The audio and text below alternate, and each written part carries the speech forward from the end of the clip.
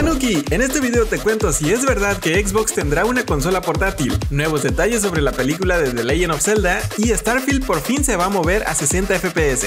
Si ves esta imagen no te emociones tanto, no hubo filtraciones de Gears of War 6. Hace poco una supuesta captura del juego empezó a rondar por las redes sociales, y vaya que elevó el hype entre los fans, pero antes de que saltes de emoción, te cuento que la imagen resultó ser falsa, y fue creada por un fanático ansioso. El usuario de ex, Karim Jovian, compartió una imagen que parecía ser la pantalla principal de Gears of War 6, con demo de campaña, modo versus y hasta un Battle Royale en beta. Muchos gamers se creyeron el bait y pensaron que ya hay un nuevo juego, pero aquí viene la verdad.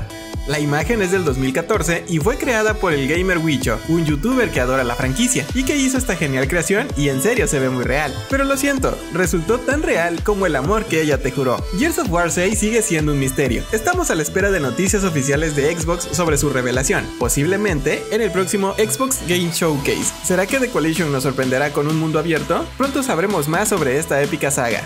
¿Te imaginas que en un mundo perfecto existe un Xbox portátil? Pues eso podría llegar a ser realidad en nuestro mundo. Nintendo y Sony han incursionado en consolas portátiles con éxito, y parece que Xbox podría unirse también. Según un reporte de Twisted Voxel, Microsoft está tanteando el terreno con una encuesta a jugadores para conocer sus gustos en el gaming portátil. Muchos rumores han dicho que Xbox ha estado trabajando en prototipos de un dispositivo portátil, pero hasta ahora no se ha confirmado que sea así. Sin embargo, Xbox tiene presencia en dispositivos como el Asus ROG Ally con Xbox Game Pass y Xbox Cloud, y Phil Spencer, el jefe de Xbox, ha expresado su interés por los sistemas portátiles. Según él, le gusta mucho el formato. Imagina tener acceso a todo el catálogo de Xbox Game Pass y Xbox Cloud en un dispositivo diseñado específicamente para jugar. Estaría increíble, ¿no?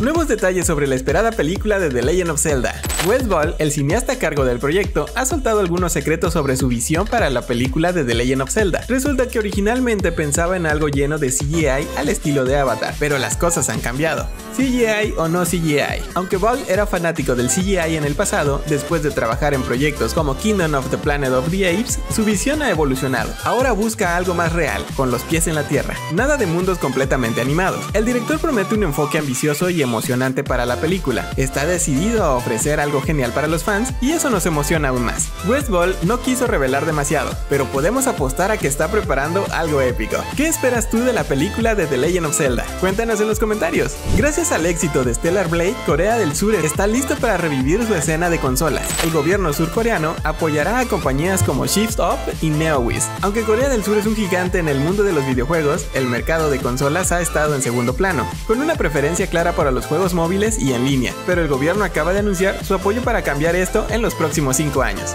¿Qué significa esto? El Ministerio de Cultura, Deportes y Turismo de Corea del Sur planea impulsar a los desarrolladores independientes a fomentar alianzas con grandes compañías como PlayStation, Xbox y Nintendo para crear juegos increíbles. Shift Up y NeoWiz ya están en el radar con éxitos como Stellar Blade y Lies of P. Estos estudios están liderando el camino para el resurgimiento de las consolas en Corea. ¿Y qué podemos esperar? Más juegos increíbles como Stellar Blade. La industria de los videojuegos en Corea está creciendo mucho. ¿Qué opinas de este movimiento? Cuéntanos en los comentarios y no te olvides que Stellar Blade ya está disponible en exclusiva para PlayStation 5.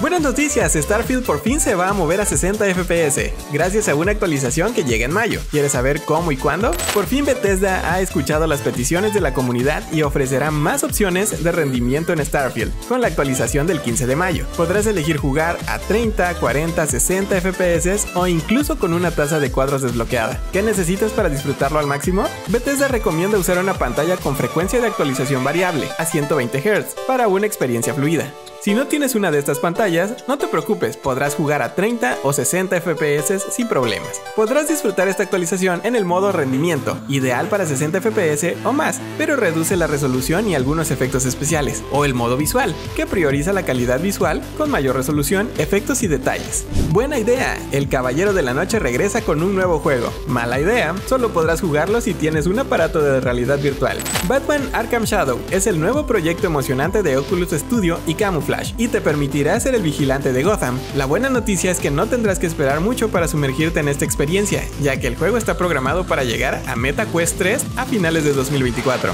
Gotham está en peligro y solo tú puedes salvarla. Es lo que se nos adelanta en la breve descripción del juego. Lamentablemente este título será exclusivo de MetaQuest 3, solo estará disponible para aquellos que tienen acceso a la realidad virtual. El desarrollo está a cargo de Camouflage, el mismo estudio que trajo a Marvel's Iron Man VR. Si quieres conocer más detalles sobre Batman Arkham Shadow, marca tu para el 7 de junio cuando revelarán más información durante el evento Summer Game Fest 2024. Perfecto Tanuki, ya estás informado y si quieres saber por qué Tencent le está metiendo billetes a Alan Wake, chécate este video.